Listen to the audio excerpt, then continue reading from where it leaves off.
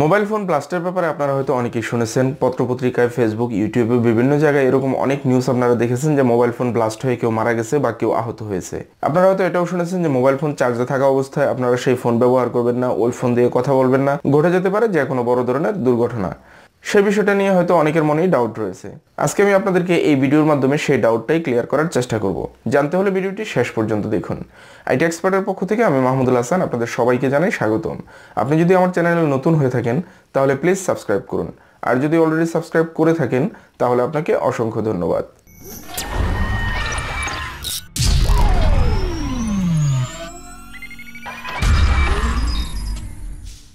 তো বন্ধুরা mobile phone ব্লাস্টের ব্যাপারে যে আলোচনা আমরা শুনে আসছি বা যে আলোচনাগুলো আমরা শুনতেছি সেই বিষয়টা একেবারে ফেলে দেওয়ার মতো না।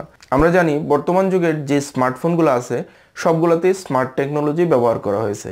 আরেকটা জিনিস মনে রাখবেন, প্রত্যেকটা স্মার্টফোন যখন মার্কেটে লঞ্চ করা হয়, সবগুলা ফোন কিন্তু বিভিন্ন রকমের পরীক্ষা নিরীক্ষার ধাপ পেরিয়ে তারপর সেই ফোনটা মার্কেটে আসে বিক্রির জন্য। কিন্তু এত পরীক্ষা নিরীক্ষার পরও কখনো কখনো ঘটে যাচ্ছে বড় ধরনের দুর্ঘটনা।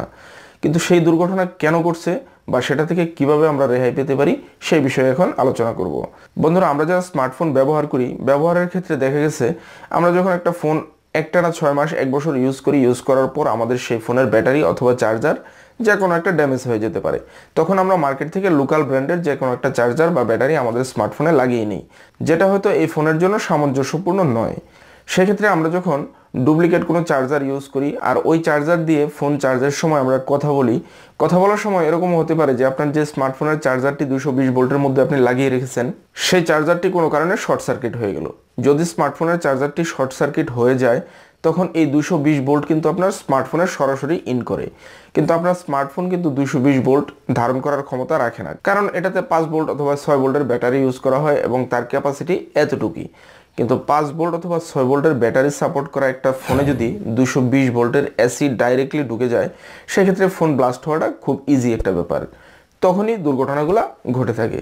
কিন্তু এই দুর্ঘটনা থেকে বেঁচে থাকতে হলে আমাদের যা করতে হবে, সেটি হলো আপনার স্মার্টফোনের ব্যাটারি অথবা চার্জার যখন কোনো কারণে ফল্ট দেখা দিবে বা কোনো কারণে নষ্ট হয়ে যাবে তখন যেটাই হোক চার্জার হোক ব্যাটারি হোক, আপনি চেষ্টা করবেন আপনার ফোনে যেই কোয়ালিটির চার্জার ছিল, আপনার ফোনে যেই কোয়ালিটির ব্যাটারি ছিল, যত অ্যাম্পিয়ার ছিল আউটপুট যত বোর্ড ছিল, এগুলো সব মিলিয়ে সেম ব্র্যান্ডের একটি চার্জার অথবা ব্যাটারি আপনি নিয়ে নেবেন।